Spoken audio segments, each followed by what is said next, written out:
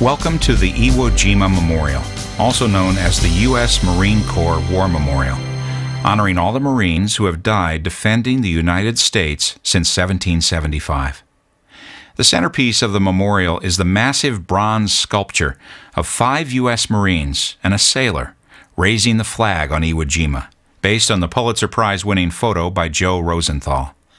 The sculpture is the world's tallest bronze statue, standing at 78 feet high. The soldiers measure 32 feet tall, and the flagpole is 60 feet long. The granite base of the memorial is made of rough Swedish granite and has inscriptions of famous Marine quotations and the location and date of every major Marine Corps engagement up to the present day. The island of Iwo Jima was a strategic victory for the U.S. Marines. After days of bombardment, Marines of Company E, 2nd Battalion, started the difficult climb to the top of Mount Suribachi. U.S. troops all over the island were thrilled by the sight of a small U.S. flag flying on top of the mountain. Commanders thought the flag was small, so later in the day a much larger American flag was raised when the famous photo was taken. The photo was featured on newspapers and magazines around the world, and a Navy sculptor named Felix de Weldon was so moved by the photo that he created a scale model within three days of seeing it.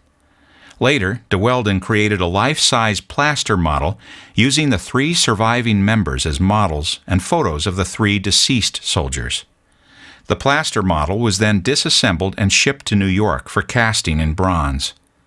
The bronze casting process required the work of skilled artisans and took nearly three years to complete.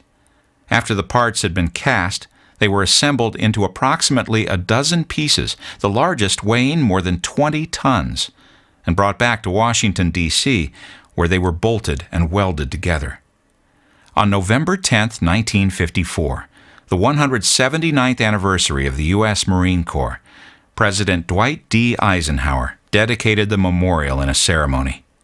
Some interesting facts about the Battle of Iwo Jima are more U.S. Marines earned the Medal of Honor in Iwo Jima than in any other battle in U.S. history.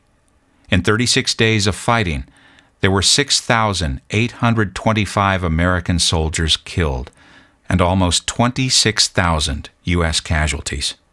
Virtually all 22,000 Japanese died in the battle.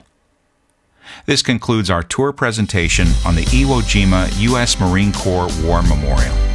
Want directions to the next stop on the tour? Simply select that landmark, listed to the side of the map display, and choose the directions option.